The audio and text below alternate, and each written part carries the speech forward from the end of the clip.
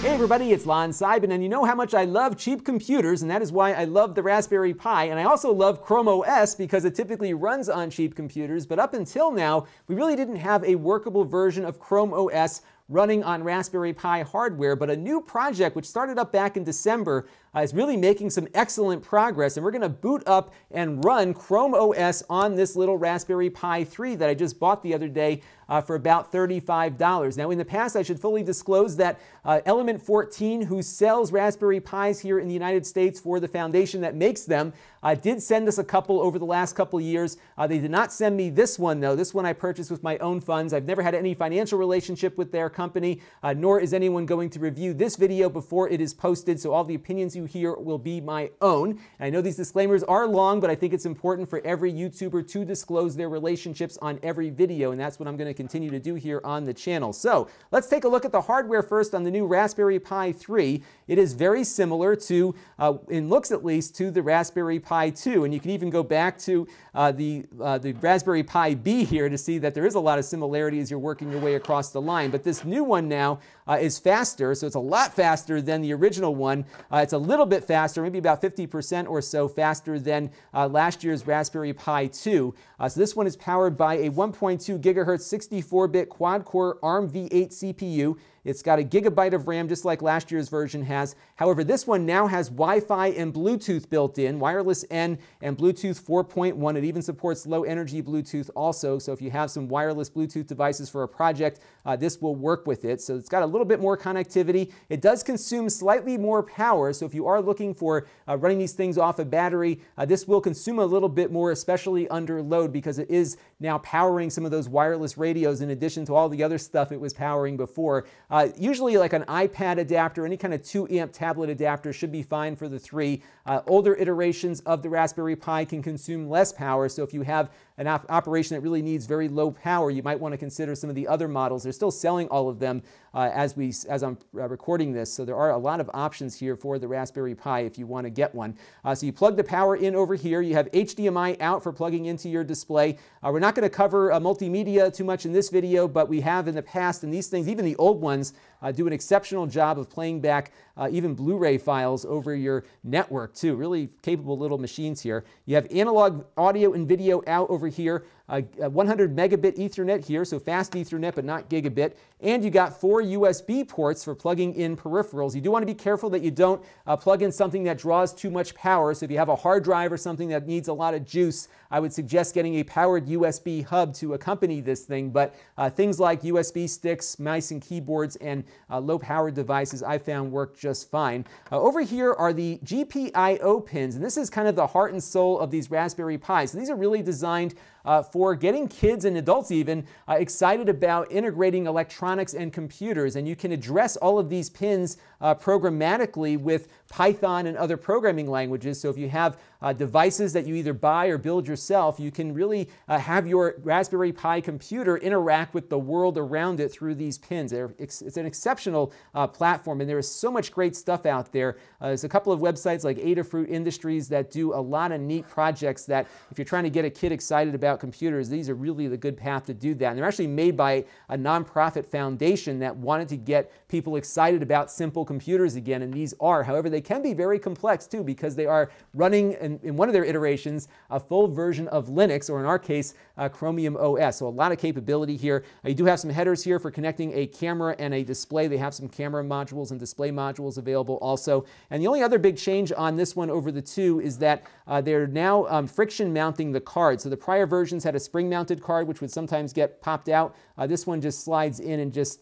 uh, holds itself in with friction to uh, keep everything going. It does consume a little bit more power, as I said, so it does get a little bit hotter than prior versions did, but not too much so. Uh, but it is a little bit warmer, so you definitely want to uh, keep it cool if you can. Uh, they do have some heat sinks and stuff available. If you overclock these things, I would very highly suggest uh, putting a heat sink on the processor. But for what we're doing, we should be fine keeping it open air a little bit as we boot it up. So let's take a look now and see Chrome OS running on our Raspberry Pi. All right, so here we are on a Chromium OS desktop. Chromium OS is the open source iteration of Chrome OS, and you can see it looks uh, very familiar if you've ever used a Chrome box before or a Chromebook.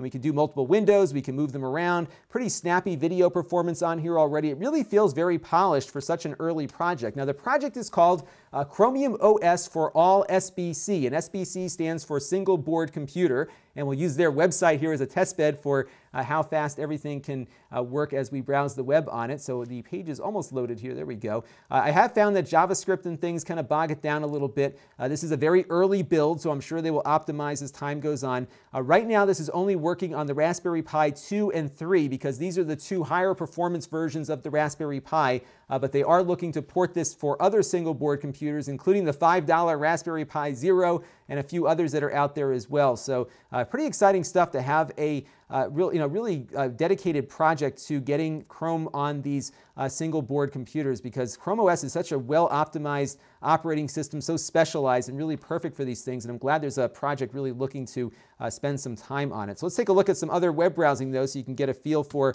how this is working here. We'll go visit the New York Times and we'll see how fast it loads up. Now, New York Times has a lot of script on it, so it does come in uh, nicely at the get-go, but it will bog down a little bit as some of these scripting elements come in. Uh, by default on here, there is no Flash running on it, so this is all HTML5 stuff, but you can see it does take a little bit of time for uh, script-heavy sites to get uh, rendered in. But once they are rendered in, as we've seen on many low-end PCs, uh, tends to work okay. So we'll wait for it to uh, give us a ability to click on a link here, and then we can go uh, browse around a little bit. So it's still not the fastest thing in the world yet, but again, this is a, a very, very beta version of uh, Chromium OS here. We will be looking at uh, the Raspbian OS, which is the, one of the native operating systems that uh, the Raspberry Pi Foundation has made for their devices here. But I'll tell you what, I think this isn't bad for $35. It seems to work uh, pretty well as a uh, Chrome OS device. Now, one thing people might want to do is use uh, Google Docs and other uh, types of web-based applications here. So I've got my master spreadsheet that I use of all of my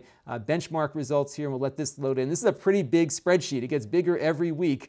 Uh, so you can see how long it takes to load this in. Now there's a couple of tabs on the bottom that we have to wait for, uh, to come up here, so we'll wait for those to come, and there we go, so we can browse around it a little bit. I have found uh, something like this, a pretty involved spreadsheet, to really bog this little computer down. Uh, this isn't the fastest processor on here, and it also only has a gigabyte of RAM, so this is definitely not going to be a speed demon when it comes to uh, doing spreadsheets and stuff. But uh, once it does get everything loaded in, you can uh, start to use it and uh, do some stuff on here, but it will not be the fastest thing in the world when you have very involved spreadsheets. But again, once you wait for it to load and things uh, get caught up, it tends to uh, start to get a little bit faster. And again, I think over time, as they uh, start doing more with this operating system to get it optimized for these little computers, I think we'll see uh, better performance here. But so far, so good. I'm pretty impressed with uh, all of that so far. Now, we're watching this on YouTube right now, so let's see how YouTube works on this device. It's not quite there on the optimization just yet. Uh, these Raspberry Pis are actually very good video players, but uh, with a web browser loaded and all the memory requirements there, it's not always perfect. So you can see we're getting a little bit of lag here. Uh, what I did before is I turned it down to 480p, uh, and I was able to get uh, a passable frame rate on that. So I'm going to turn this down here. I'm not sure what it's at at the moment. It might have just been the page rendering in that was uh, slowing it down a little bit. So you can see it's still going to lag on you a little bit uh, as you're going here. But okay, we are at 480p, so I'm going to start it up again and see if it uh, catches up now that the page is rendered in. So now it's working a little bit better. I found that 480p is about the best you're going to get before you get major lag on here.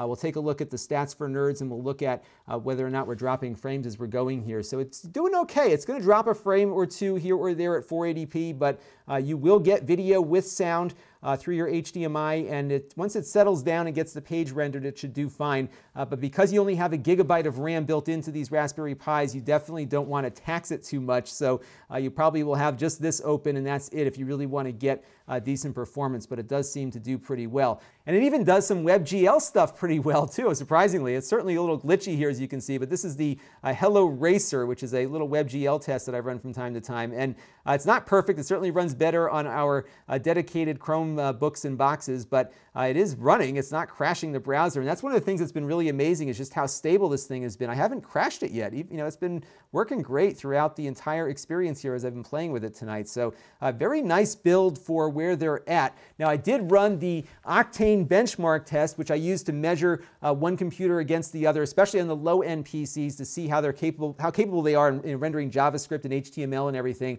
Uh, we got the lowest score we ever tested on this at 2,302. Uh, that's not to be, you know, that's not a surprise because this is a new build of Chromium OS on the Raspberry Pi. It's a brand new project, so it's going to take some time uh, to get everything optimized, but it's usable. It's not fast, but it's usable, and I think that's what's great about this. And I really just wanted to draw some attention to this project because I think it's very valuable uh, to get these uh, really simple and lean operating systems that are still very powerful uh, onto equipment this inexpensive because at $35, uh, these can be great for schools that don't have the budgets to buy uh, expensive computers, and they can really uh, spend just a little bit of money and get a computer in the hands of every kid that wants one. And I think that's a really awesome thing. So I hope we can uh, draw some more attention to this project. If you're a developer, maybe you can get involved with it. And if you're not a developer and just love playing with stuff, uh, just help spread the word because I think it's important that uh, this kind of development continues, especially on these inexpensive PCs. And they're off to a great start. It is really stable. It's working very nicely. And I can't wait to see what happens with it next. I haven't even talked to them yet. I need to reach out to them uh, and see if I can get a representative on the channel to interview them about what their plans are because I'm really excited to see uh, Chrome OS making its way onto these little single board PCs. This is Lon Seidman. Thanks for watching. This channel is brought to you by my Patreon supporters, including gold level supporter Shabib.